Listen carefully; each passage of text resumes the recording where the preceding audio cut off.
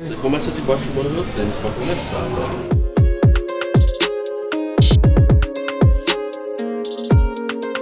Salve galera da Integral TV, estamos aqui na Aqua Academia da Moca com a Júlia, mais Oi, uma vez. gente.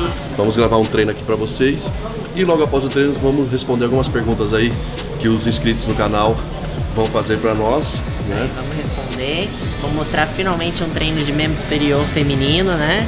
E hoje alguém vai treinar a perna. E hoje eu vou treinar a perna. então bora lá.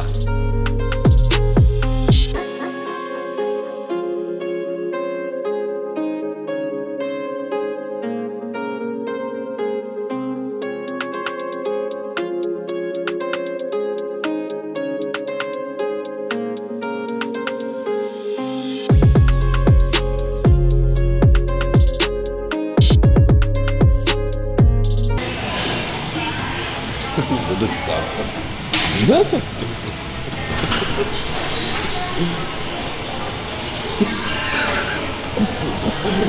Vamos treinar? Vamos treinar.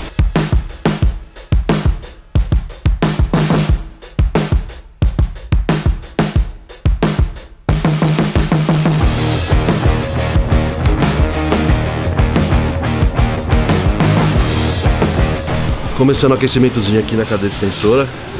É, vou fazer aqui umas 5, 6 séries. Duas de aquecimento e depois eu começo aí a fazer uma pirâmide, vou progredindo aí, aumentando o peso. Até tentar zerar a máquina aqui, vamos ver. Vai dar.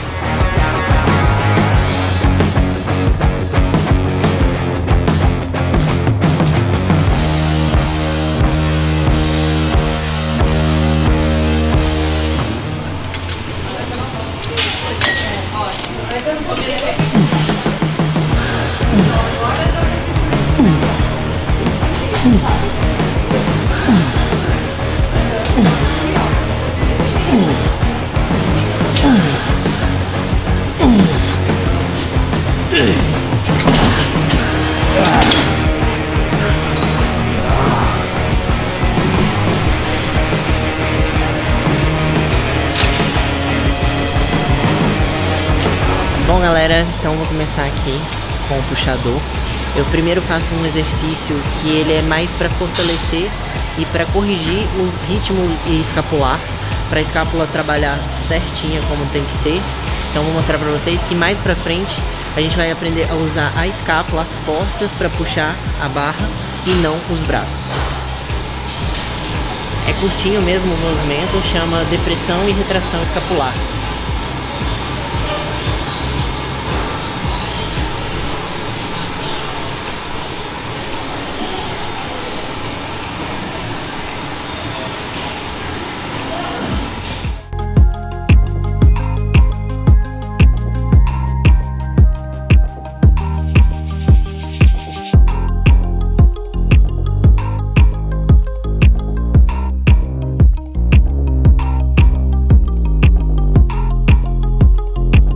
Importante aqui é não deixar dobrar o cotovelo. Sempre flexionado, mas não pode puxar.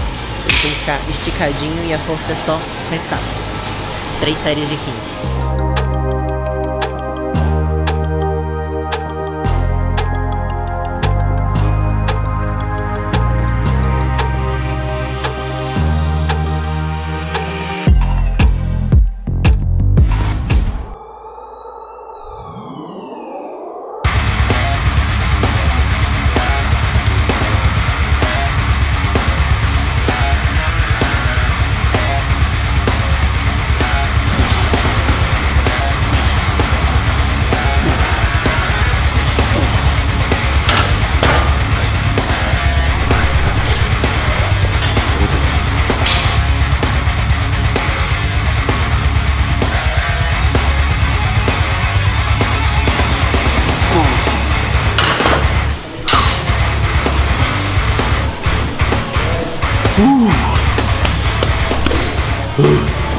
Press aqui eu procuro fazer cerca de umas 8, umas 8 séries.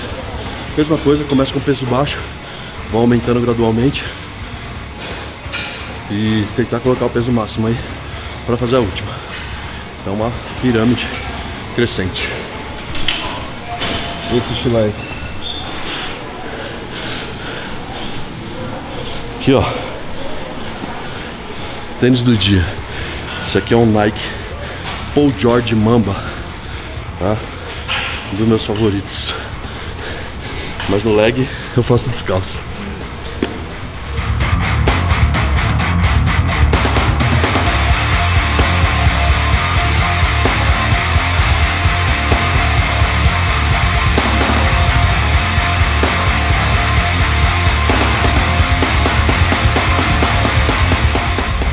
feito esse, esse primeiro educativo, agora a gente vai para o movimento completo, que é a mesma coisa, só que puxando a barra até embaixo.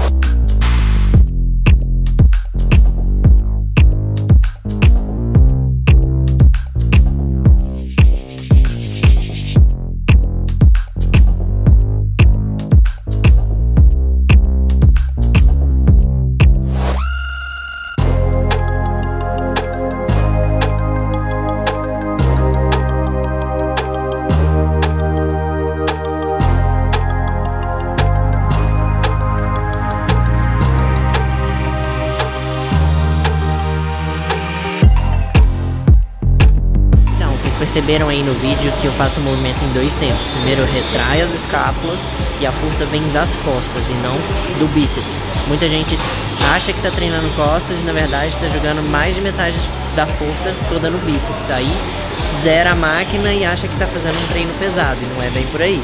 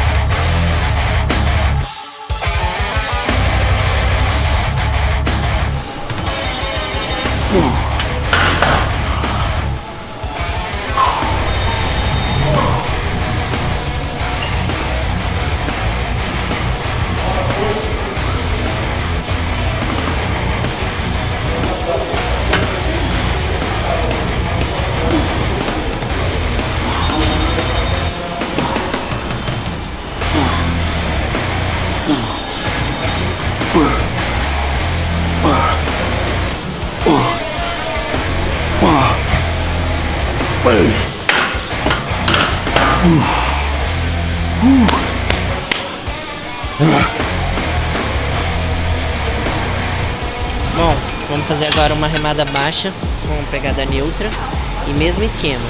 Mostrar para vocês a postura e as costas que faz a força. Aqui é mais fácil ainda de você querer puxar o aqui a, a barra.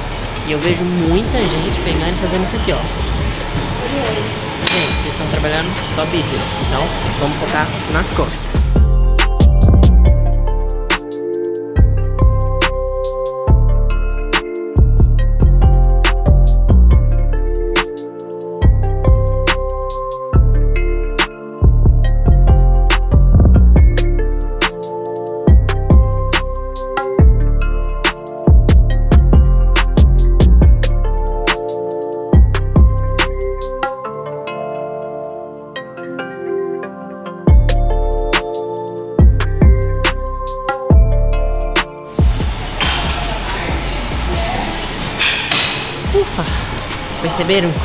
Sempre as costas que puxa primeiro para depois o braço vir?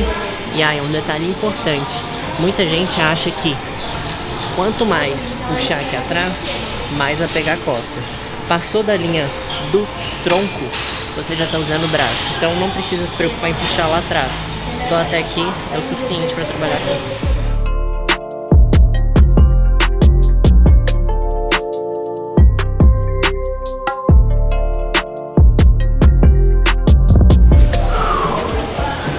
Pausinha no treino aí. Pra você que tá vendo o vídeo, você já é inscrito no canal? Então, ó. Esse aqui é o canal da Integral Médica, Integral TV. Vai lá, ó. Seleciona aí, se inscreve no canal e fique por dentro de tudo que acontece aí na Integral TV com os melhores atletas do Brasil. Próximo exercício a gente vai fazer a mesma pegada neutra que a gente fez ali na remada, só que agora puxando aqui na frente. Mesma história, escápula primeiro, puxar com as costas.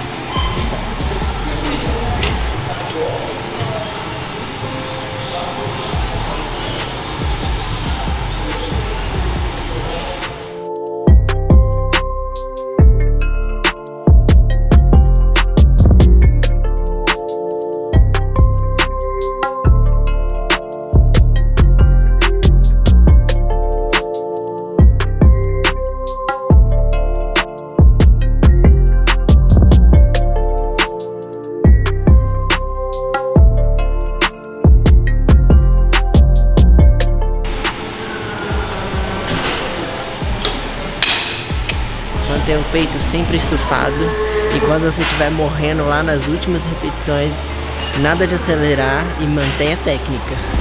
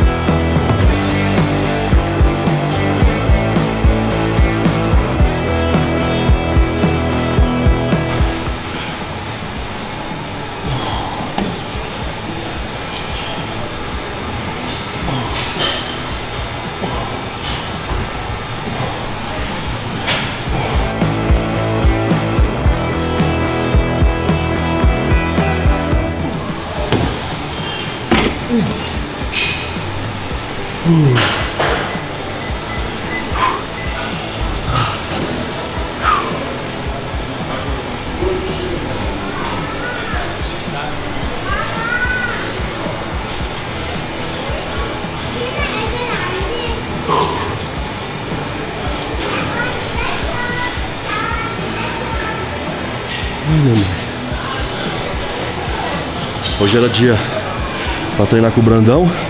Aqui, Brandão. Cadê que você ia treinar a perna comigo? Você não aguenta não, filho. Mentira. É brincadeira, Brandão. É brincadeira. Da última vez que eu treinei com o Brandão, ele fez agachar com 200 quilos, porque um mês andando igual um velho de 80 anos. Que vão ser quatro séries de 10 repetições. E pra finalizar uma passada. Que pena que o tiozão não tá aqui também pra fazer passada com ele. tiozão, rei da passada. Como ele não tá aqui, eu faço quantas eu quiser.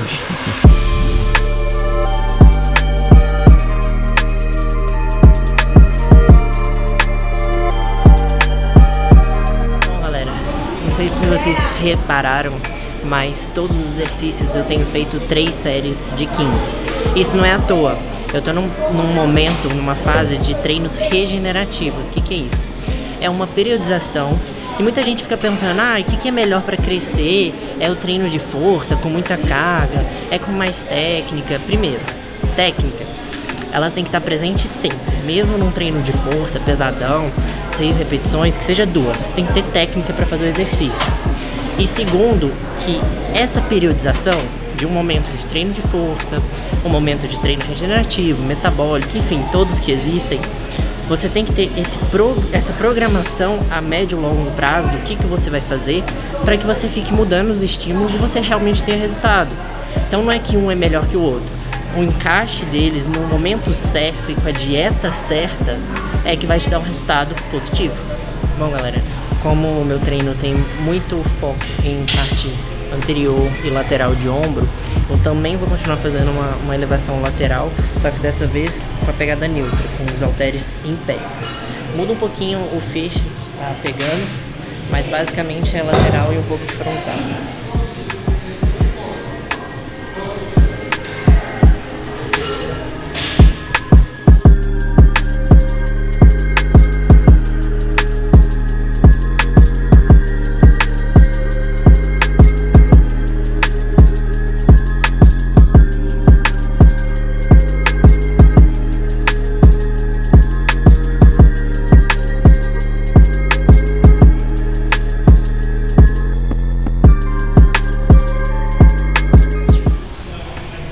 Fazendo? Passado na rua.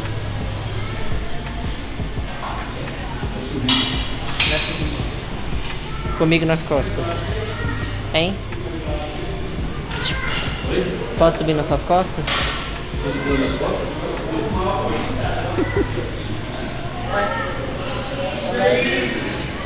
Tô levinha. Quanto você acha que eu tô pesando? Você? 85. Não, mentira, gente. Tô pesando 68, 67. Ainda não cheguei nos 80, não. Mas deixa. Meu off tá chegando, ele vai ver. Pra fechar o treino de ombro, vamos fazer uma elevação frontal para poder pegar a porção anterior de ombros. Mesma coisa, escápula aqui retraída. Cuidado para não usar antebraço, viu, gente?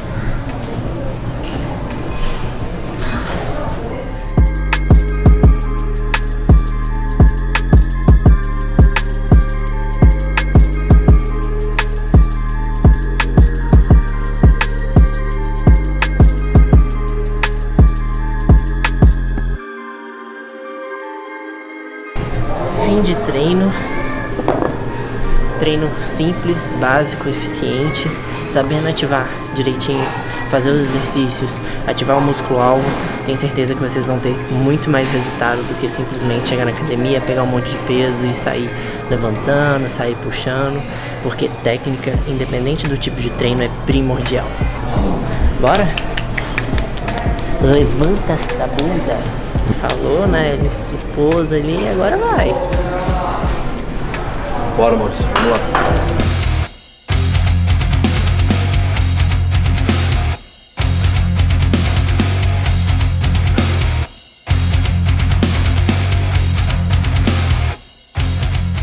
Aí, tiozão, aqui é passada a raiz, maluco.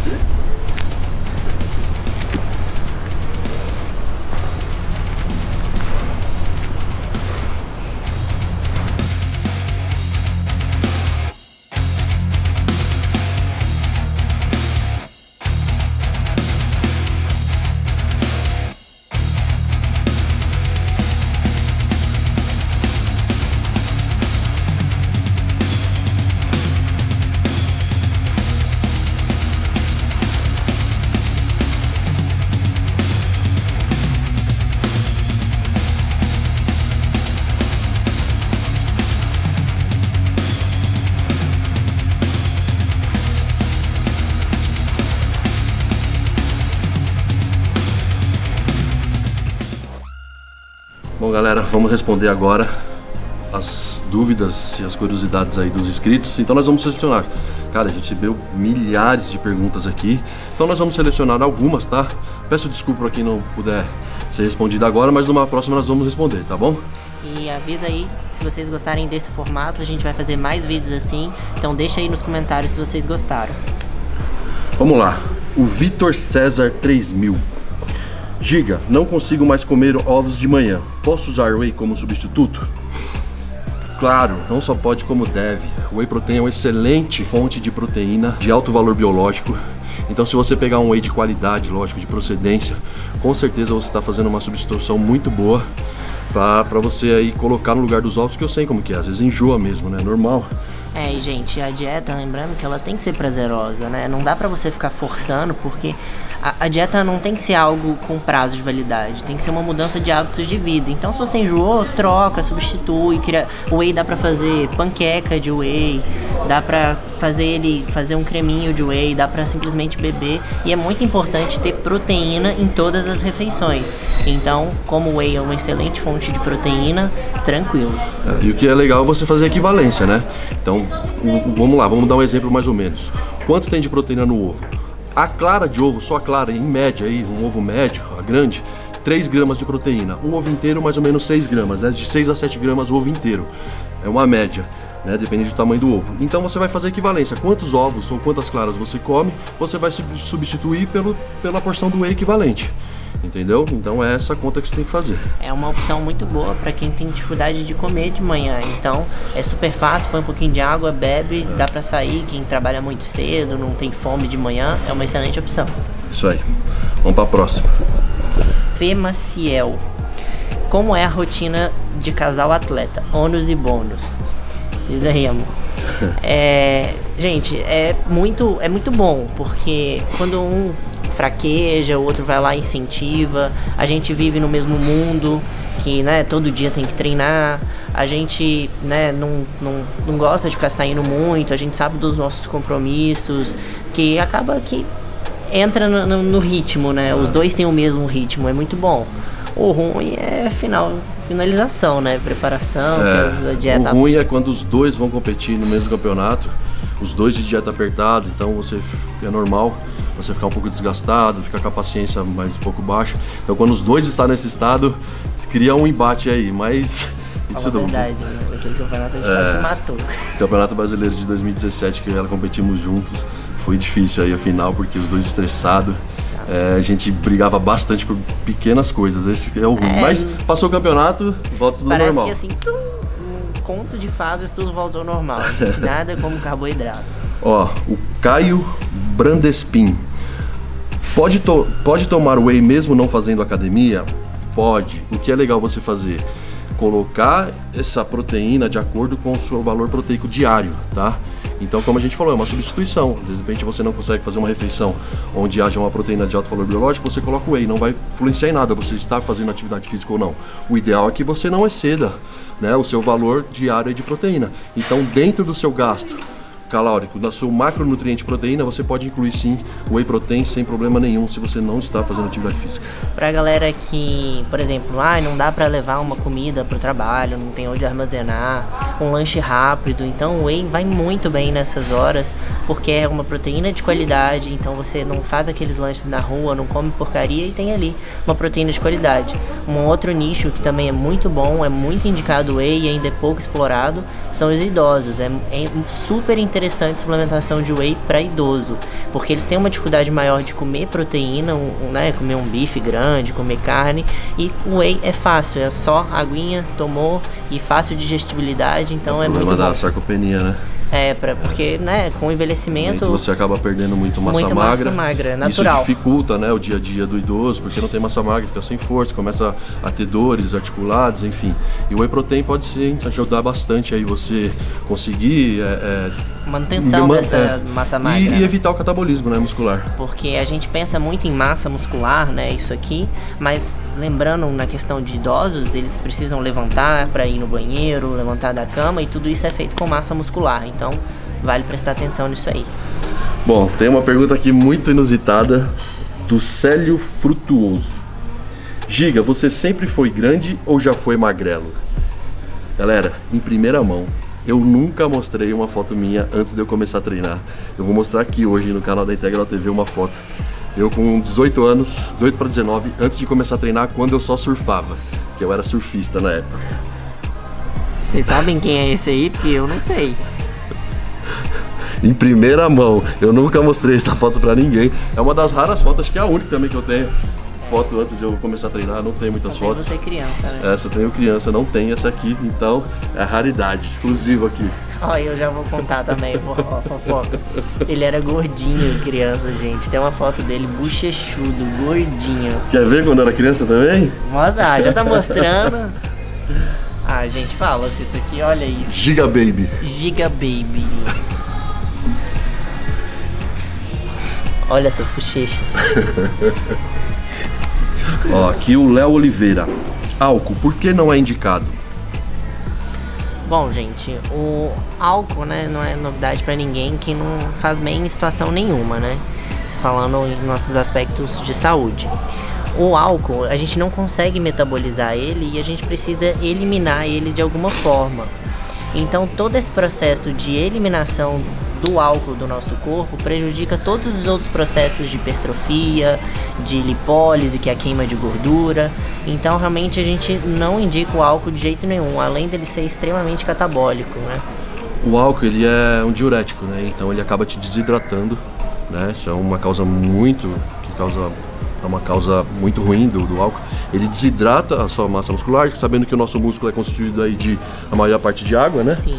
Então isso não é legal, é catabólico. Outra coisa, o álcool ele é hipoglicemiante, tá? Então ele ele causa uma queda brusca na, na, na, glicemia sanguínea. Então, se você vai fazer uma atividade física, é perigoso você acabar tendo um desmaio. E outra coisa, o álcool ele tem calorias vazias. O álcool ele é transformado em ácido graxo no corpo e ele vai ser depositado em forma de gordura. Então, nada de álcool. É, principalmente as meninas que gostam de tomar uma caipirinha, ainda tem açúcar adicionado, a cervejinha lá, que também tem bastante caloria, bastante carboidrato. Então o álcool realmente não combina com dieta e treino. Você bebia quando era mais novo? Cara, nunca, meu pai nunca bebeu na vida, então eu nunca fui muito fã de bebida. Eu bebia assim, socialmente, ia dar um rolê, uma festa, alguma coisa, eu bebia, mas nunca fui de, de chapar mesmo, de assim, exagerar. Não porque. Porque eu não gosto, nunca gostei muito mesmo do paladar mesmo, mas bebia moderadamente. Mas depois de um tempo eu realmente cortei totalmente, não sinto falta nenhuma. É, gente, isso é muito legal. Eu, eu bebi na minha adolescência, aquela coisa toda, night festa. E assim que eu comecei a treinar, foi assim, instantâneo, não, não, precisou falar duas vezes, né? Quando você foca em treino, em dieta, uma vida mais saudável, rapidinho a bebida saiu de cena muito fácil. O álcool ele aumenta muito a pressão arterial, então tem que ficar ligado nisso. Você beber, toma cuidado com a sua pressão. Bom, galera, se vocês gostaram desse formato de perguntas e respostas. Deixa seu comentário, deixa seu like, se inscreva no canal que a gente vai fazer mais vezes para vocês. É isso aí, galera. É sempre um prazer responder e tirar as dúvidas de vocês. Então, direto agora, se vocês gostarem, vamos fazer esse formatinho aí, responder as perguntas e tirar as dúvidas de vocês para que vocês evoluam junto com a gente nos treinos e na dieta. Beijo na gorda. Desgraçado. Pegando. A nova utilidade da coqueteleira integral de alumínio. Tacar na cabeça do marido.